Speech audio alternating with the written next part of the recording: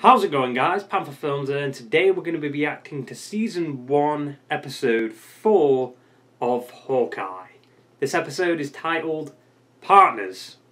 Am I right? Also, yes, this reaction is a little bit late. Don't worry about it. Now, last episode we had the backstory of Maya Lopez, aka Echo, and how she's associated with the Tracksuit Mafia and how she's associated with Ronin. Ronin basically killed her dad, and we also had like a massive chase scene through New York. I guess New York, kind of New York, but it was a cool sequence. You know, we had the one shot and the Pym arrow, which for some reason I thought it would shrink the arrow and not enlarge it. Obviously, it would enlarge it. Like, come on, use your brain. And then I guess Kate and Clint kind of talks about like a costume for Clint to show off his brand, I guess. And then right at the end of the episode, they went to Kate's apartment. Well, not her apartment, but Eleanor's apartment. And basically, Jack was there with the Ronin sword to Clint's throat, and that's how the episode ended. And there's also this mysterious uncle that's associated with the Tracksuit Mafia, and someone that Hawkeye doesn't want to cross. And I think we know who it is. Like, realistically, come on, who's the big grounded villain? And he has like a big organization, he's rich, he's a criminal. Come on, who is it? I don't think they've even connected to any of the stuff from Black Widow, right? Because there was that after credit scene. So I wonder if they're going to touch on that. Maybe it'll be in the final episode or something like that. It'd be weird though, because that'd feel rushed, wouldn't it? I don't know. Anyway, let's stop doodling around and get right into the fucking episode. Oh yeah, you had this scene too. This scene was really good. How did I forget this scene? Like, what the fuck? This is such a cool scene. This is Detective Cottle of the New York Police Department. Oh, everything's like connecting but All the questions I've had throughout the season are kind of coming back in this one, probably.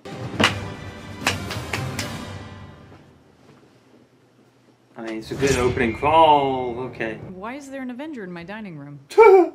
Hi. Branding issue, I'm telling you. Yeah, sure. Needs a costume. Wow.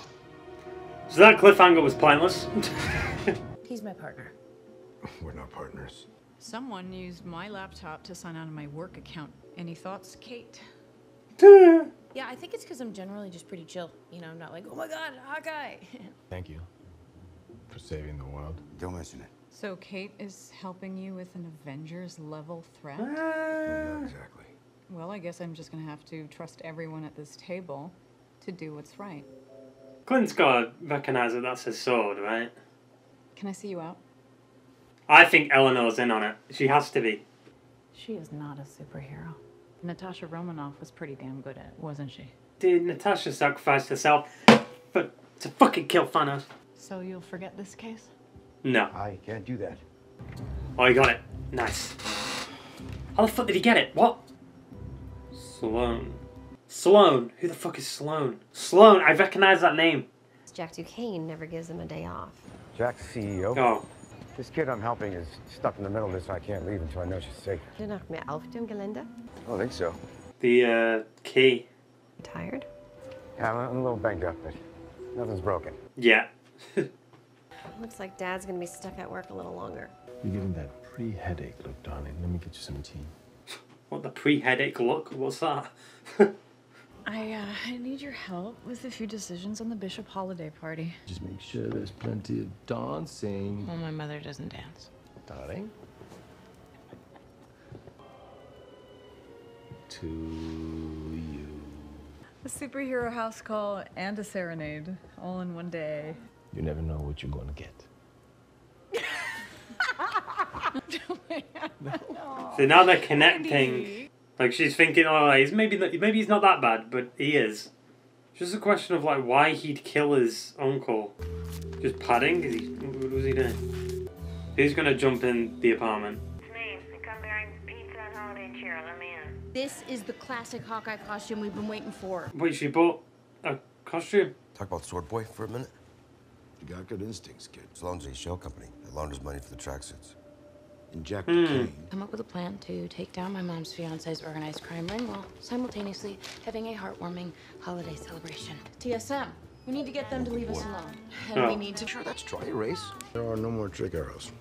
Like in the world, tree covers the parts that won't come off. Yeah, but eventually you're gonna have to take that tree down. If all trick arrows were boomerangs, then we'd have them all. I mean, what if it's an explosive arrow? How's that gonna work? How's that gonna come back to you? Knock somebody unconscious with that, like 20 feet away. Oh yeah. Can't-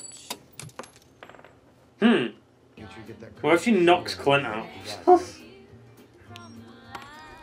oh, the dog. Jesus. Oh.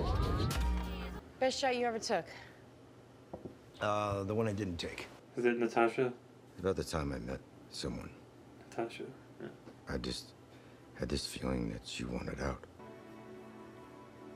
Is that endgame music?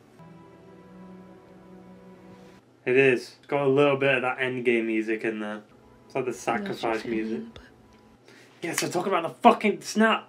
Is that where you met the Ronin? It's when he became the Ronin. It's you, isn't it? You were a hero. That was a weapon. I mean, it makes sense, like, the path he went. I mean, the man lost his whole family. Like, it's, it's not without reason that he didn't just go mental.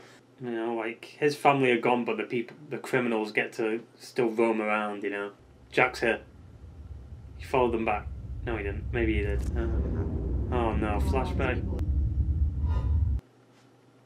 Wait, that was a new footage. No, dude. The fact that they're bringing up Natasha's fate and they keep bringing her up in this episode, I think maybe Yelena could be in this. Maybe. The fucking laughers, dude. help us out. One of you is a cop?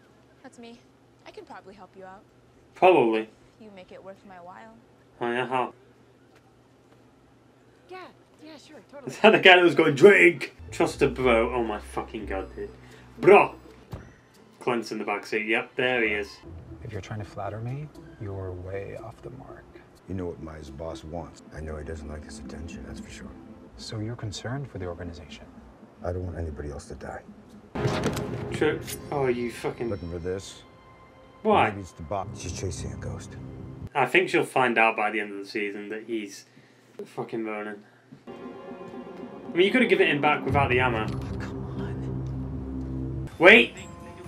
They're still building. Fuck! I think that was. Was that Avengers Tower? What if that's our deal? What deal? You get us materials for a new costume. Okay, how about Hmm. I know a certain someone who needs a little help with theirs. Thank you so much. Appreciate it. Uh, This is my bag. It says bombshell. I I, I can see that. Bombshell. Is that uh, a hero? Where the fuck is Avengers Tower, dude? Who bought it? Who fucking bought it, dude?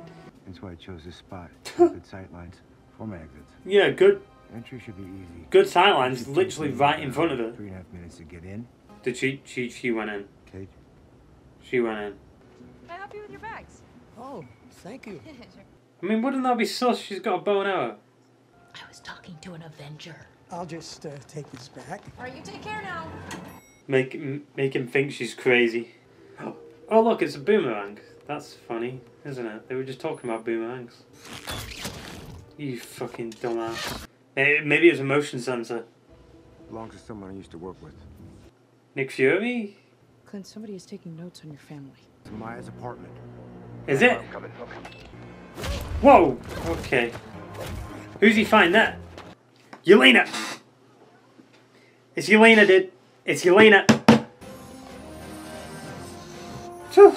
Oh, great. Just kind of shimmy across. You gotta shimmy across. You gotta. Oh! Sam Fisher, Splinter Cell. That's gotta be Yelena. Them moves are very Black Widowy. Okay, okay, wait, no, she's good, she's good, she's good. Oh no, this is gonna trigger his fucking PTSD level. Think- Dude, they're playing the fucking music. she comes back up. How wasn't that door locked? What? Why the fuck was that kick so strong? What? Jesus. I mean, she does have a metal leg, but still. Alright, calm down. Yeah, get out of here. Yeah.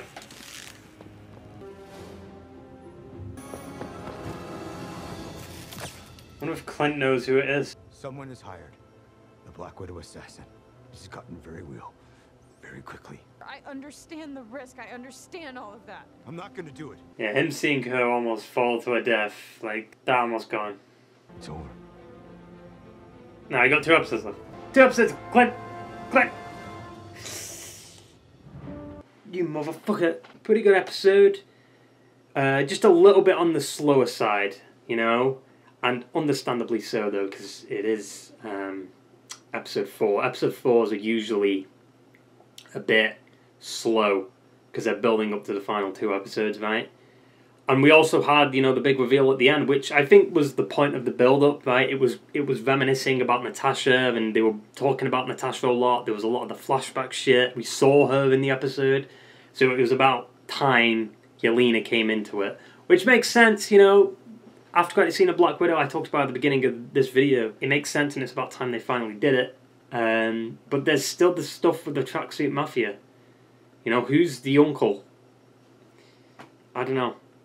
Does Maya know about Ronin being Clint? Also, why would Maya want the watch? What's the watch? Like, I assume the watch gives details about someone, right? We don't know who. Maybe it's Natasha. I don't think so, though.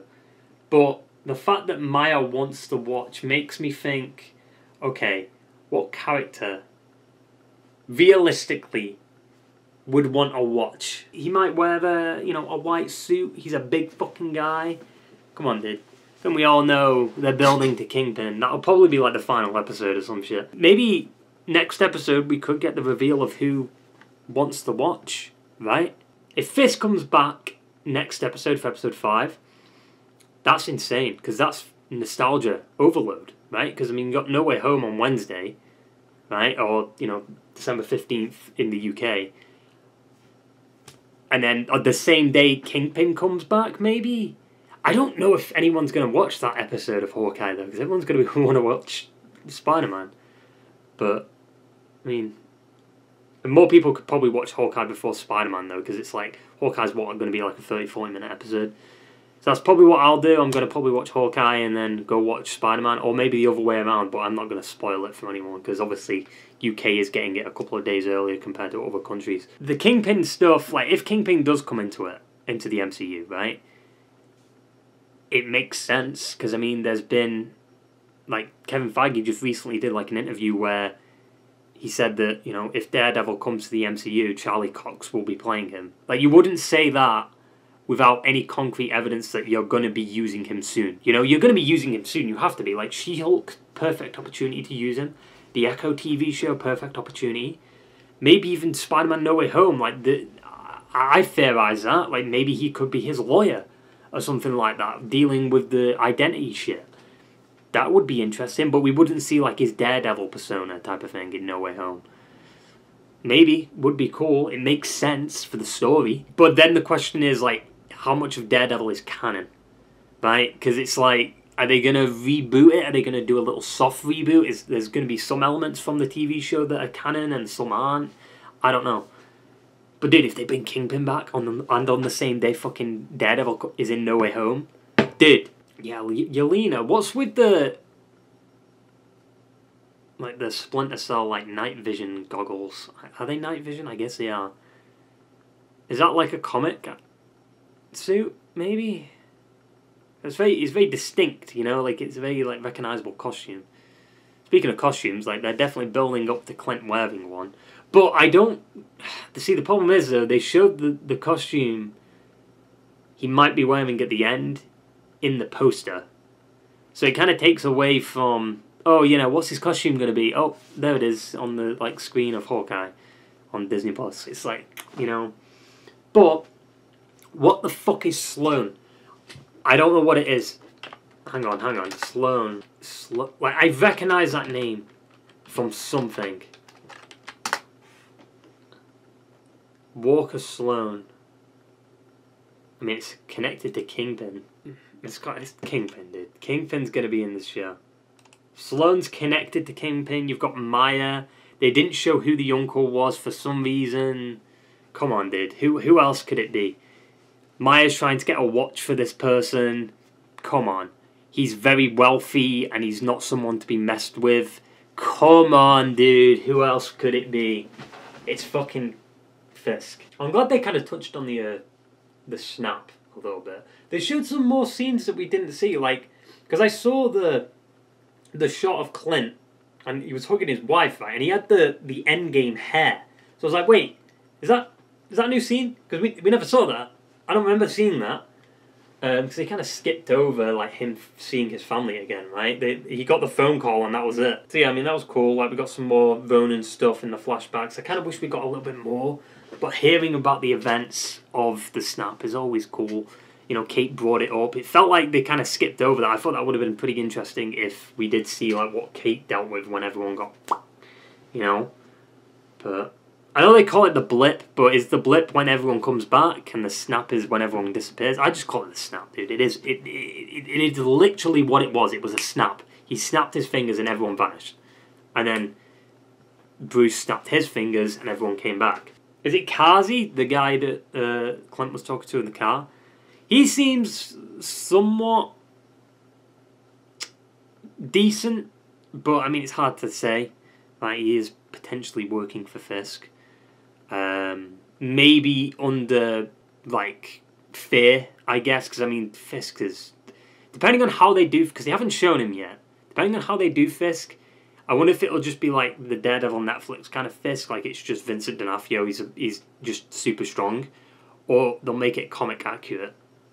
Like he'll be fucking massive. I doubt it. I they'd have to CG it or use like a bodysuit or something, and that's that's just ridiculous. I do feel like this episode might be the weakest. Like not in a bad way, just like the weakest in terms of entertainment value, right? Because I mean, episode three was really good. Episode two was, you know, kind of a continuation of episode one. Episode one set up the characters perfectly. It set up the story great, you know. Episode four just kind of felt like more of the same. We got to see like Clint and Kate bond a little bit, but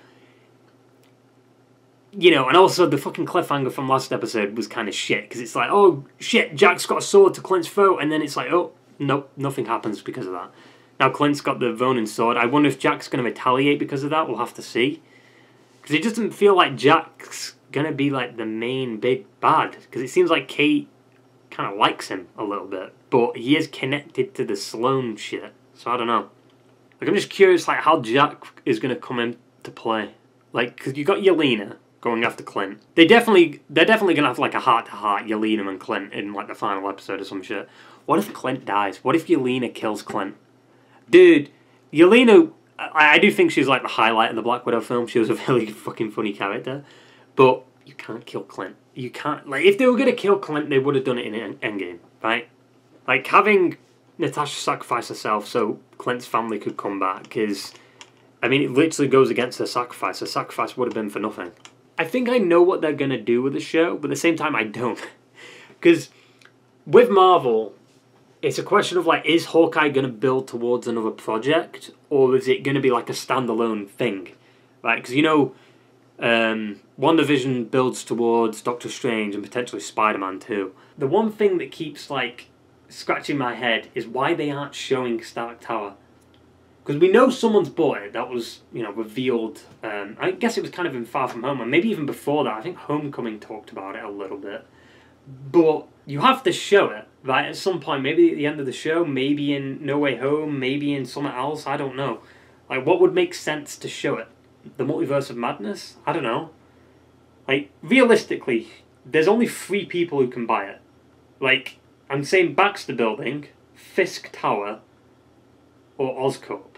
They're the three that stand out but i don't think they'll do oscorp because the fact that green goblin is going to be in no way home so it's going to be a bit weird I don't know if they'll do that. Like they'll probably do Norman Osborn, but I don't think Norman Osborn will be played by Willem Dafoe because Willem is, you know, he's getting on in age, you know, and him playing like a new era of o- Osborn is a bit weird.